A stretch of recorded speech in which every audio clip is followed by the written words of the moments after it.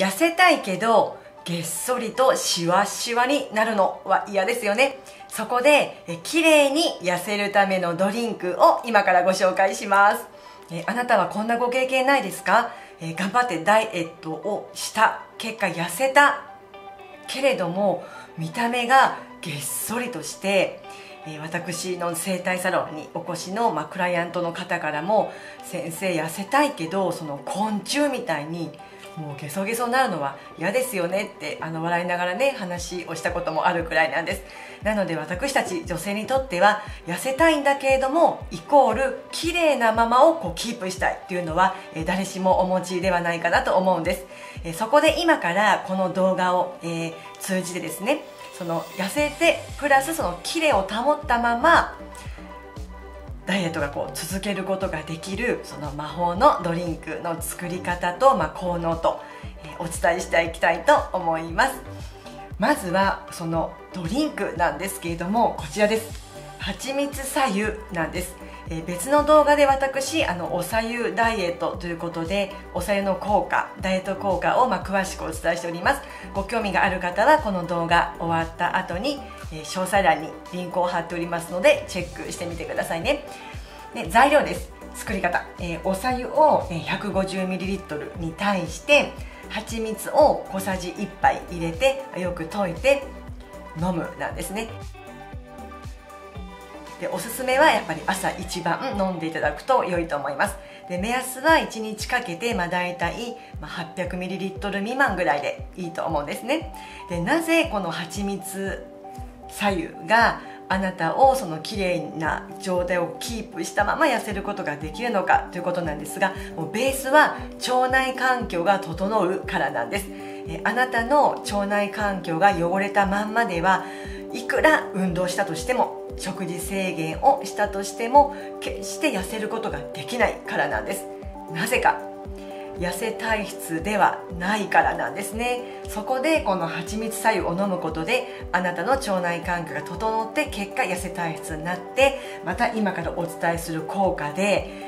どんどん綺麗になれるということなんですね。ではここで1つ目です。蜂蜜が持つ効果1ミネラルが豊富なんです。これすごいんですね。蜂蜜は実はものすごくあのマルチの栄養価がま高い食品なんですね。でまずそのカルシウムマグネシウムカリウム鉄要はこういったミネラルが豊富ですから蜂蜜作用を飲むことであなたのその血液であったり骨だったり要はこう体の組織ですねをやっぱり作るために必須栄養素がまたっぷりと入っているわけなんです。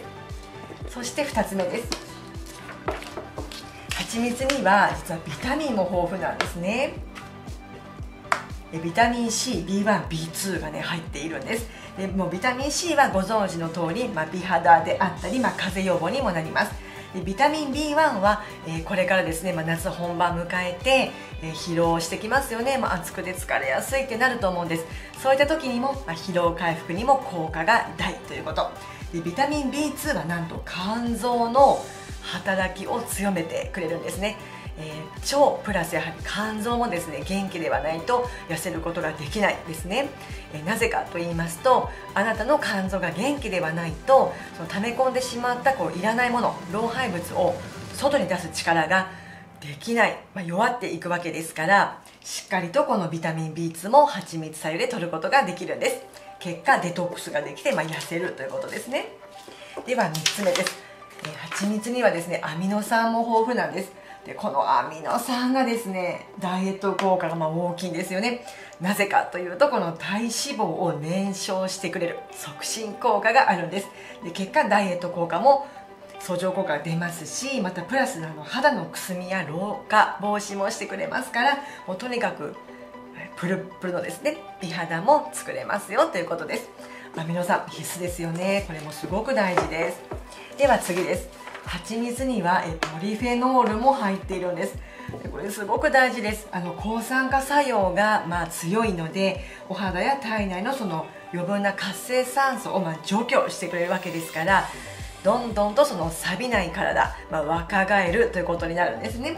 なので肌の老化防止やまた生活習慣予防あの生活習慣病のま予防にもなります。